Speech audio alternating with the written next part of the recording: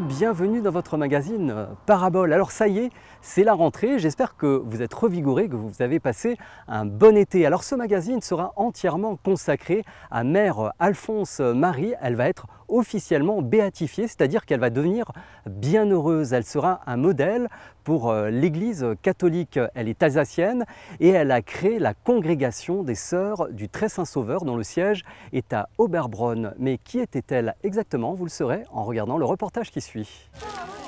C'est la fête des voisins aujourd'hui.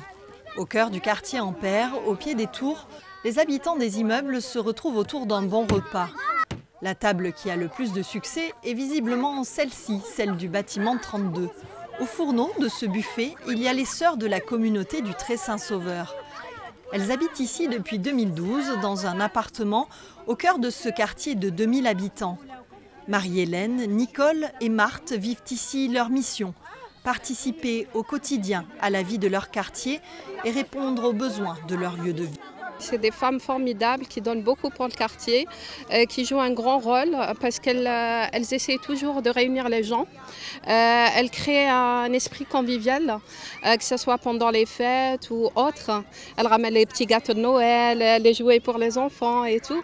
Donc elles sont vraiment formidables. Il faut dire que ces trois sœurs sont la seule et unique présence d'église, tout culte confondu, dans ce quartier de la ville.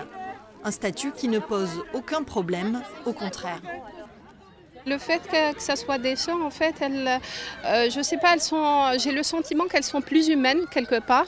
Euh, c'est, on, a tendance à aller vers eux plus facilement parce que voilà, la maison du Seigneur, je pense qu'elle est ouverte à tout le monde et dans toutes les religions. Donc du coup, on a plus de facilité à aller vers elles. Un peu plus tôt, chez elles, les sœurs achèvent la préparation de leur petit gâteau. Au quotidien, elles participent au conseil citoyen du quartier. Elles organisent de l'aide aux devoirs pour les enfants ou de l'éveil à la religion. Elles accueillent également ici un office ouvert à tous. C'est tout de même une chance et une joie, par exemple, d'accueillir les gens pour euh, une Eucharistie toutes les trois semaines. Hein. Je seconde un petit peu Marie-Hélène quand elle reçoit les enfants. Je suis. Parce qu'il faut au moins être deux, quoi. Hein. J'écoute Marie-Hélène dans son enseignement. Et puis, non, mais c'est. C'est très enrichissant, c'est beau. Ce qui fait euh, que je suis heureuse, c'est la relation aux personnes. On a tellement de relations différentes et j'aime les personnes et je sens que les autres m'aiment aussi. Monique, quant à elle, n'est pas une religieuse.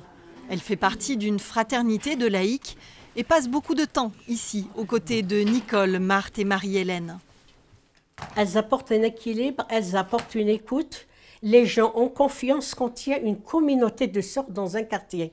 Parce que je l'ai vécu en Algérie, on avait des communautés de religieux, de religieuses dans un village et ça se passe très bien parce qu'il y a le respect. Il y a leur religion, chacun a sa religion on respecte, on respecte l'autre, et ça, c'est une compréhension mutuelle. Elles apportent cet équilibre de confiance parce que les gens qui sont autour, ils se disent, tiens, on a un lieu où on peut parler, on peut rentrer, même si on ne parle pas de Jésus, même si on ne parle pas de religion, mais on sait qu'on est accueilli. Et les sœurs, elles, à l'image de leur fondatrice, elles ont l'image de l'accueil. Et pour évoquer cette fondatrice, direction Niederbronn-les-Bains, au nord de l'Alsace. C'est ici, dans cette maison, qu'est née en 1814 la petite Élisabeth Épinger. Après un long parcours spirituel et l'épreuve de plusieurs maladies graves, Élisabeth devient mère Alphonse Marie et fonde la congrégation des Sœurs du Très Saint Sauveur en 1849. Aujourd'hui, dans l'église paroissiale, des vitraux contemporains retracent la vie et l'œuvre de Mère Alphonse Marie, les missions de sa congrégation également. Par exemple, les soins aux malades à domicile, une nouveauté pour l'époque, mais aussi l'aide aux plus démunis. Le tout dans un esprit d'ouverture et un souci de transmission aux novices. On peut seulement admirer comment elle a su euh, former les jeunes sœurs pour vivre cette euh, forme de la vie religieuse parce qu'elle a beaucoup tenu à la prière personnelle, la prière communautaire, mais aussi euh, aller vers les personnes. Après, c'était les enfants abandonnés, les, les veillards aussi et d'autres formes de, de pauvreté. Au décès de Mère Alphonse Marie en 1867, la congrégation comptait déjà plus de 700 membres dans 15 diocèses à travers l'Europe. La congrégation est vraiment grandie assez vite. Il y avait beaucoup de jeunes filles de la région de l'Alsace, après déjà de l'autre côté du Rhin, de, euh, l'Allemagne et de l'intérieur de France qui sont venues pour entrer dans la congrégation. Et euh, elle a aussi envoyé les sœurs assez vite dans les mêmes régions, c'est-à-dire déjà en France et en Allemagne. À l'étroit, à Niederbronn, Mère Alphonse Marie installe la maison mère ici, à Oberbronn. Par la suite, la congrégation a continué à se développer à l'international. Aujourd'hui, les sœurs sont présentes dans 13 pays, en Afrique et en Asie notamment. Mais toutes reviennent régulièrement à Oberbronn comme un retour aux sources pour discuter des décisions importantes et pour se retrouver tout simplement. Ça qui me touche le plus euh, en voyant mes sœurs, c'est la force qu'ils ont. Malgré son âge, ils ont la force de volonté de faire encore quelque chose. Et ça, ça me, ça me euh, motive encore, mhm. ça m'aide encore mhm. à vivre mhm. mieux ma vocation de sœur très sans sauveur. Mère Alphonse Marie a légué aux sœurs qui l'ont suivi ce qu'on appelle un charisme pour les croyants, un don de Dieu, mais qui se traduit par une ligne de conduite, un état d'esprit que les sœurs aujourd'hui encore appliquent au quotidien, avec pour mission générique de répondre aux besoins concrets du lieu où elles se trouvent et d'aller vers les autres. Ce qui les amène bien évidemment à adapter leurs actions au terrain. Donc vous voyez, notre mission en Inde est un petit peu différente d'ici. Nous nous adressons surtout à une population très pauvre. Nous leur offrons surtout une aide médicale, de l'éducation et une aide sociale. Donc nous nous concentrons sur ces trois aspects, le médical, l'éducation et le social. Et à côté de ça, nous aidons aussi les paroisses.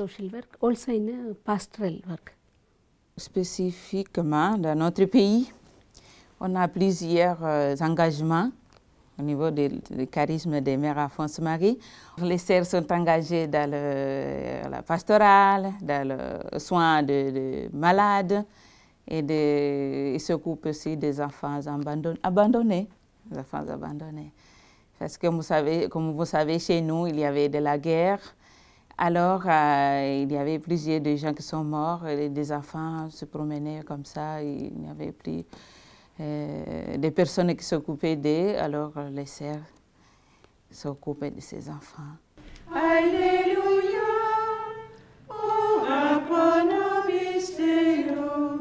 Alléluia.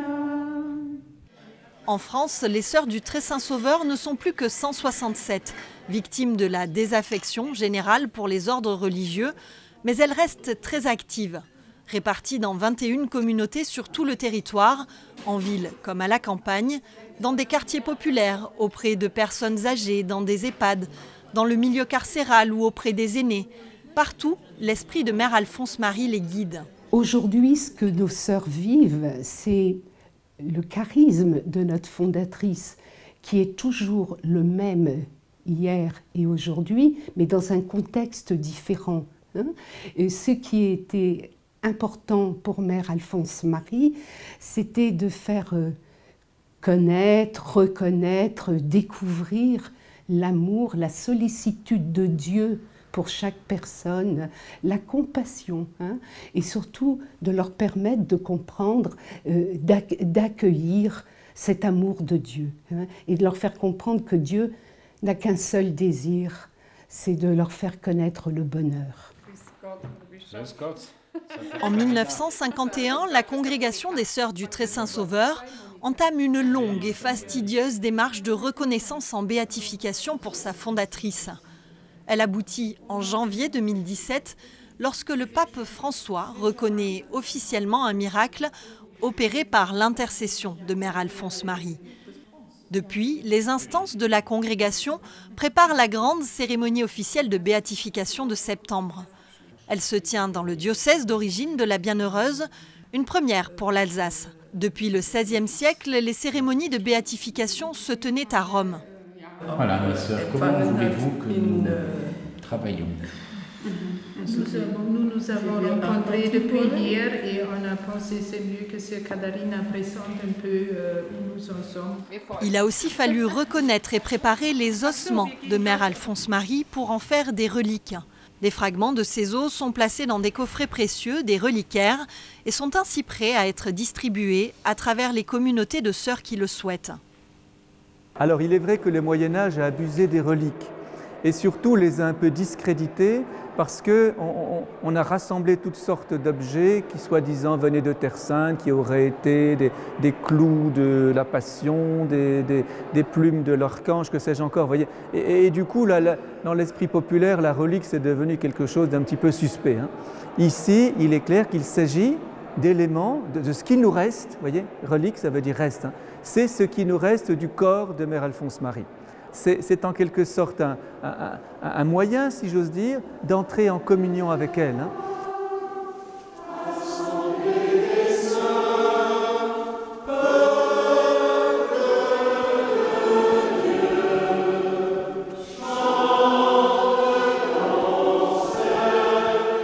C'est à la maison mère d'Oberbraun que l'archevêque a célébré au printemps dernier une Eucharistie autour des reliques de Mère Alphonse Marie.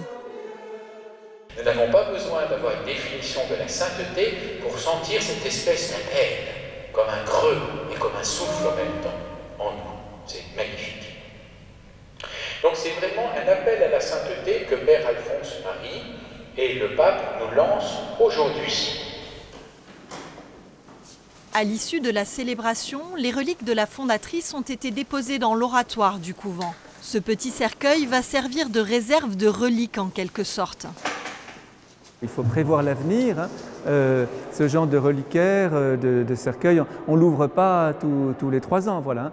Donc maintenant, je pense que euh, les côtes qui ont été prélevées, eh on va les distribuer avec parcimonie pour que dans les décennies qui viennent, euh, on puisse répondre aux besoins, en particulier de, tous ceux qui se réclament de la spiritualité de Mère Alphonse Marie. Et puis si dans 100 ans, allez, voilà, si dans 100 ans on, vient à manquer, eh bien, nos successeurs euh, ouvriront à nouveau ce cercueil et prélèveront à nouveau quelques reliques. Cette béatification, les sœurs du Très Saint Sauveur l'attendaient depuis longtemps, pour leur congrégation, mais pas seulement. C'est vraiment important pour l'Église voilà. Elle est présentée, elle est donnée comme euh, modèle pour tous les chrétiens. Et, et ça, c'est une grande joie pour moi. Avec la béatification, un culte public pourra dès lors être consacré à la bienheureuse. Donc pour les personnes que nous accompagnons, nous pourrons leur dire, nous avons quelqu'un qui peut intercéder pour vous auprès de Dieu. Et ça, je pense que ça va aider beaucoup de personnes. C'est donc regonflé d'espoir et renforcé dans leur foi que les sœurs continuent leur mission au quotidien, comme à Strasbourg, dans le quartier Ampère. Elles sont toujours accompagnées de Monique, membre de la Fraternité Saint-Sauveur, comme elle, un millier de laïcs à travers le monde vit du charisme de Mère Alphonse Marie et seconde les sœurs. Cette béatification représente pour toutes une reconnaissance du parcours de leur fondatrice et du caractère très actuel de sa spiritualité. Une vie simple, tournée vers les autres. Voilà, je vous rappelle que la messe de béatification aura lieu le 9 septembre en la cathédrale de Strasbourg. Voilà, c'est la fin de cette émission. Merci de nous avoir suivis et à bientôt.